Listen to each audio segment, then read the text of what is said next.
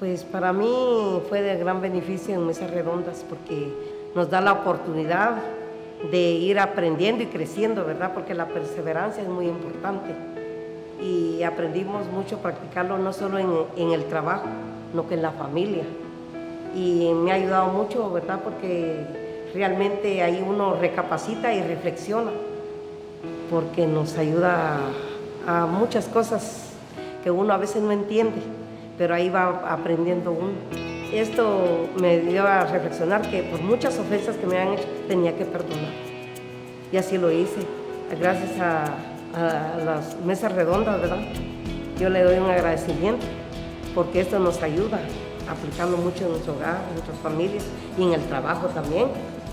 Yo me he propuesto algo en mi vida, en, aparte de la generosidad, digo yo, pues para llegar uno a, a, a, tener un sueño, porque ahí nos habla de sueños también, ¿verdad? Y unos anhelos, es comprado mi casita. Y primeramente yo lo voy a lograr porque ya empecé a orar.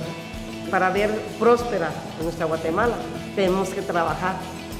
Tenemos que trabajar y ser honestos y respetuosos.